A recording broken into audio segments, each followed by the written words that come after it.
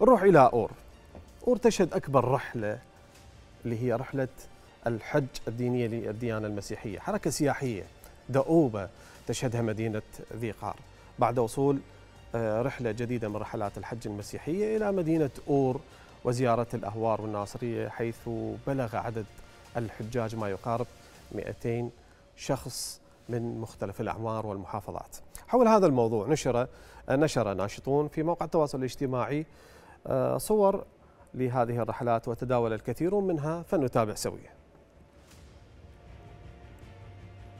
مثل ما نشوف هذا الموقع اللي يتناول آه، ذي قار تشهد أكبر رحلة حج للديانة المسيحية إلى الأهوار ومدينة أور الأثرية في الناصرية حيث بلغ عدد الحجاج ما يقارب 200 شخص من مختلف الأعمار والمحافظات.